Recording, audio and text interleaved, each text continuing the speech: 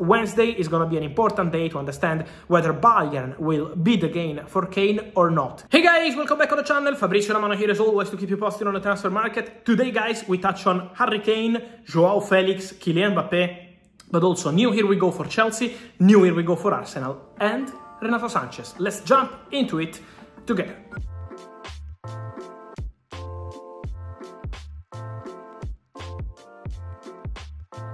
And so guys, let me start with the uh, here we goes of the day, because David Raya is new Arsenal goalkeeper. I told you of this important news. Total package, add-ons included, around 30 million pounds. Again, add-ons included. Some of these add-ons are difficult, so a very good deal for both sides. Brentford because they wanted to sell the player after they already have Flekken as new goalkeeper. For the goalkeeper because Raya wanted to join only Arsenal this summer despite the interest of Bayern. And for Arsenal because they signed an excellent goalkeeper for very good price. So Raya will undergo medical test later this week and he will become new Arsenal goalkeeper.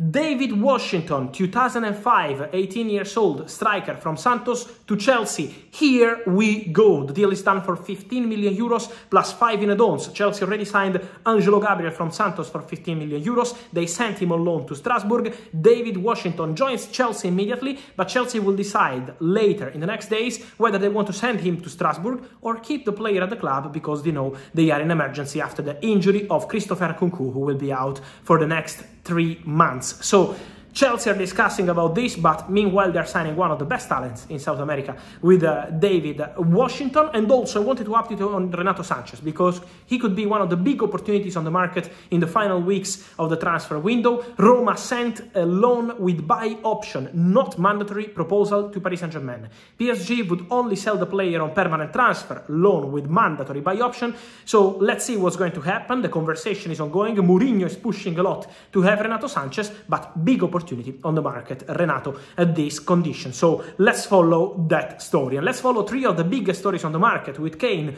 Joao Felix, and Mbappe. For Kylian Mbappe, what I can confirm today that after, in the recent days, Mbappe said no to the final desperate proposal from Paris Saint-Germain. It was sign a new contract and let's include a buyout clause, a guaranteed sale for summer 2024, so you can pick your favorite club and leave next summer as you want. Mbappe said no again, and so PSG will keep the player out of the first squad, training with the player who are out of the project, and so he's not with the squad of Luis Enrique. That's the position of Paris Saint-Germain since Monday, and this will remain at least for this week. So PSG are very strong on their position, and they keep believing that Mbappe has an agreement with Real Madrid for summer 2024. That's the feeling that is driving PSG crazy, and also Nasser Al-Khelaifi is furious with this feeling they have at the club. So Let's see how that will evolve. We wait for Real Madrid to make a move for Mbappe. Let's see if it's going to be this summer or next summer, but for sure, crucial weeks for Mbappe are coming.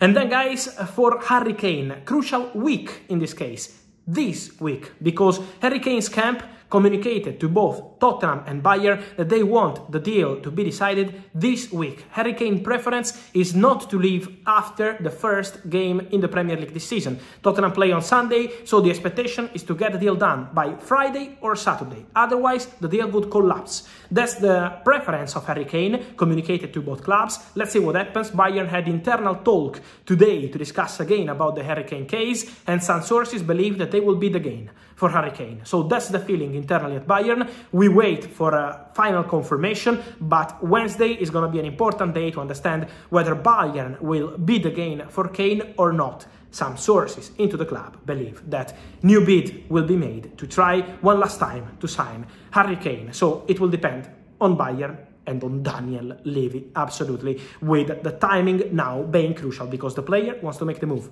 this week or potentially next summer. So that's the Kane position. And let me finish with Joao Felix because I'm told that Al Hilal have contacted Atletico Madrid over loan deal because for the player the only option to go to Al Hilal this summer is on loan and then return to Europe in summer 2024. The answer received by Atletico Madrid today Mm, around 8, 9 of August, they are saying no. Let's see what happens later in the window. We know that in August many conditions of the deal could change, but as of today, Atletico Madrid don't want to give the player on loan to Al Hilal. Only permanent transfer. Joao is not happy with that kind of solution. He wants a loan deal potentially to accept Saudi, and so the situation at the moment is like this. Let's see how Al will insist. Jorge Jesus, the manager of Al is calling Joao Felix every day, trying to push with the player side, but the formula of the deal is crucial, and Atletico are not at the moment accepting any loan. Meanwhile, the player is still